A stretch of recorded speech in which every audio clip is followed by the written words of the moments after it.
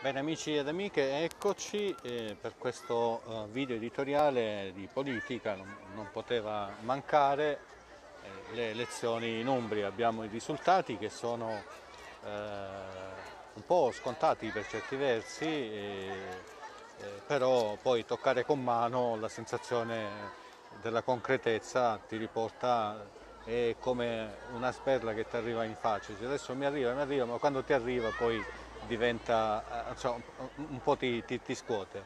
in Umbria l'Umbria ha confermato che ormai c'è questo vento che ispira a, a, verso destra, verso il centro-destra, ma soprattutto verso la Lega, Salvini, la Lega Nord di Salvini, ormai è inarrestabile, un'onda d'urto eh, che rischia di travolgere, tra virgolette, o comunque di conquistare l'Umbria, la Calabria e tutte le regioni e perché no anche il governo.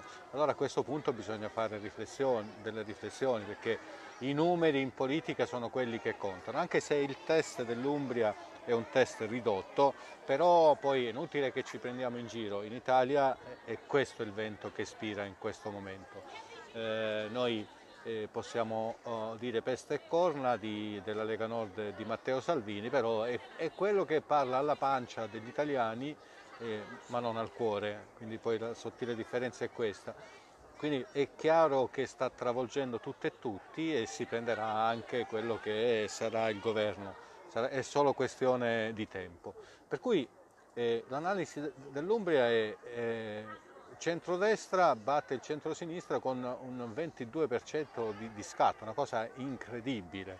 Eh, Fratelli d'Italia raddoppia i voti, eh, Forza Italia eh, non pervenuto, ormai è un partito estinto, il Movimento 5 Stelle anche lui non, eh, inconsistente, zero, eh, l'8%, adesso non, non, mi ricordo bene la, la, la percentuale, ma veramente da, da eh, sono numeri da estinzione epocale, eh, eh, il PD è in affanno, eh, gli manca il respiro, insomma eh, tutte le strade portano a, a, alla Lega Nord, a, a Matteo Salvini.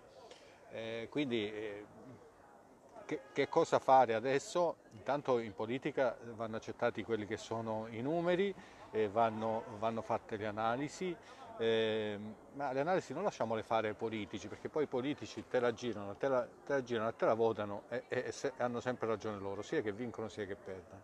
Eh, le analisi le facciamo un po' noi, anche chiacchierando con voi cittadini per le strade, con, con i mezzi, con i mezzi tele, eh, con i mezzi tecnologici, con i social, con eh, internet, YouTube, Instagram, eccetera. Quindi cerchiamo di, di capire come non arginare, come fare in modo che comunque chi meriti vada al governo e che sappia governare. È chiaro che questo governo che eh, sta basando tutta la sua politica, anche la finanziaria, eh, un po' facendo anche del terrorismo secondo noi, manette, eh, contromanette, tasse di qua, tasse di là, cioè la gente è impaurita. Ma al di là di questo, eh, quello che noi notiamo è un po' la mediocrità della politica. La mediocrità della politica porta, eh, fa sì che uno come Matteo Salvini della Lega Nord possa eh, emergere in Italia e diventare leader cioè, se voi analizzate Matteo Salvini, in ogni cosa che fa, cosa, lui ripete sempre le stesse identiche cose, ma questo funziona e gli sta portando voti a valanga. Quindi arginare poi con le manette agli evasori o con eh, il contante limitato e lì apri delle praterie infinite perché la gente poi questo non vuole assolutamente. Insomma, eh, bisogna, eh, bisogna, cercare di trovare eh, un sistema, ma questo è compito dei politici, a noi interessa poco, che governi Salvini o che governi eh, Conte con Di Maio, a noi non ce ne frega nulla. Quello che, che ci interessa è che comunque noi come Calabria, come Reggio, eh, come il mio paese Roccaforte, cioè siamo eh, messi non male, di più.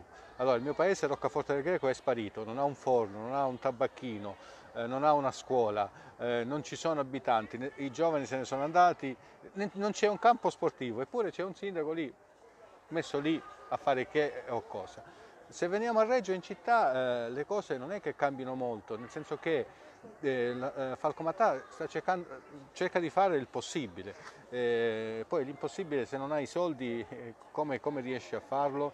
Quindi a cascata, la regione Calabria poi non ne parliamo, Oliverio è una frana incredibile, cioè, non ha mai avuto oh, i numeri per, per, governare, nonostante questo, e qui è colpa della minoranza, e sono andati avanti. Sono andati avanti perché? Perché non rinunciano allo stipendio. A me questo dispiace dirlo, ma questo è, c'è una politica di, di, di basso le, eh, livello e che dà spazio a una politica di bassa lega. Mi piace questa battuta, una politica di basso livello che dà ampi spazi delle praterie alla politica di bassa lega nord.